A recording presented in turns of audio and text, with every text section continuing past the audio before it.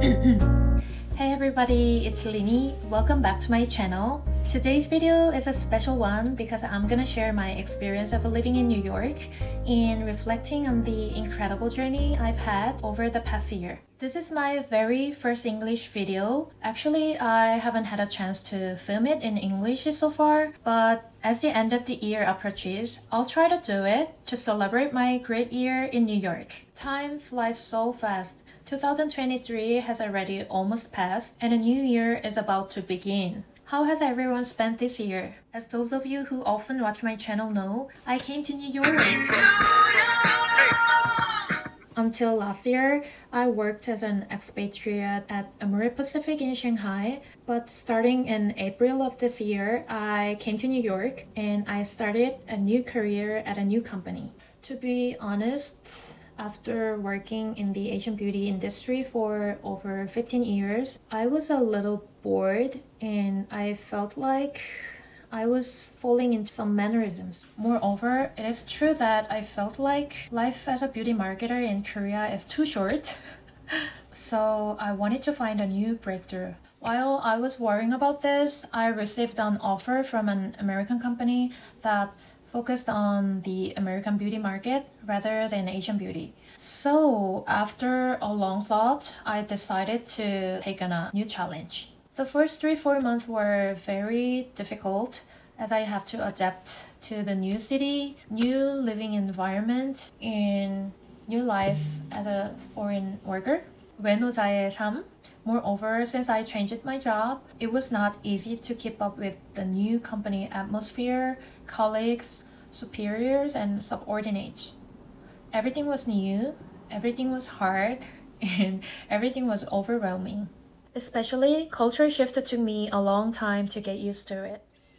The most difficult thing is here's murders, monthly house rent, and prices. Korea has a 전세 culture, so it seems unlike that people will pay such high monthly rent, but most people in New York like live on monthly rent, so I have to pay a really crazy rent every month. Taxes are also high the amount of tax you earn is enormous. Also, the goods price is too expensive. For example, the catnip's price here is like 5,000won. It's very few, few, few. And I think I have to buy some enoki mushroom, pengibasat, like 5,000 I think it was 500 or 1,000 in Korea. Is that right? Because I lived in Shanghai for a long time. I don't know. But here, they, they cost like 5,000. It's crazy. And there is a credit culture. For someone like me who was new to the United States and had no credit record so far, I was at a disadvantage in all aspects, including finding a new new house or buying a car, all aspects. This is a problem that can only be solved with time. This is the part which I felt like the most sorrow as a foreign worker. But going forward, I'll have to work hard to build up my credit while living in New York, right? Lastly, the diversity here is incredible. When I work at the company, I work with colleagues from different countries, cities, and environment. And I think it's not only are there linguistic differences, but different ways of working, thinking, and acting as well. I'm especially frustrated because I can't say everything I want to say. Still, for a year, I have learned to accept this as it is. I believe so. And now for the exciting part. What have I achieved in New York this year despite the hurdles? 1. Kick off my own new project at a new company. I came to this new company and proposed ways to improve consumer research as my first project. So, I'm developing a new platform where I can gather a pool of consumers and contact them whenever necessary to ask questions about products and interact freely. I'm planning to launch it early next year. I'm so excited. 2. New friends when I came to New York, I met many new friends. The friends I met in New York have in common. They are willing to leave their comfort zone Try new things, enjoy the hardships and challenges come with it. The energy radiating these friends always inspires me. 3. Explore New York's hidden places. I was able to enjoy the benefits of being a New Yorker by visiting places that I didn't know about when I was just a traveler. Aside from the world famous MoMA and Met, I visited many hidden art museums and enjoyed exclusive views, hidden restaurants, and brand new events that only locals know about. Do you feel my real New Yorker vibes now? 4.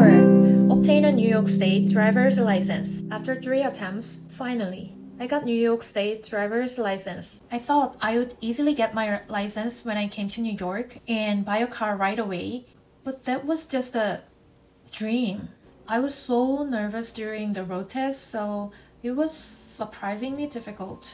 And the sassy New York ignores the driving experience in other countries. It's been one month since I got my New York license. The insurance premiums are too high, and I don't have credit, so it's not easy to buy a car. No wonder New York is New York. I've got my license, so it's the start. 5 read more than 60 books. As a reading lover, I read more than 60 books this year. Actually, it is expected to increase further by the end of the year. I organize the books I read every year on Bookstagram by taking them by year, like Leeny Books 2023. If you want to see the books I read this year and the most recommended books, stop by my Bookstagram, Leeny Books. In some ways, this may not be very big achievement, but I think these things are more meaningful and precious to me because they were achieved not in a familiar environment, but by overcoming a lot of pressure and stress in a new environment. I did well in my first year in New York, so I can do well in next year too, right? This year has been a real rollercoaster riding and there have been many difficult times, but I'm trying to shake it all off and move forward with conviction. Alright, you saw a glimpse of my transformative year in New York so far. It hasn't always been easy, but the journey has been worth every moment. I hope this video inspires you to embrace changes and find the silver lining in every challenge in 2024. Thank you guys for sticking with me this year. I really appreciate for joining me on this adventure. Happy New Year!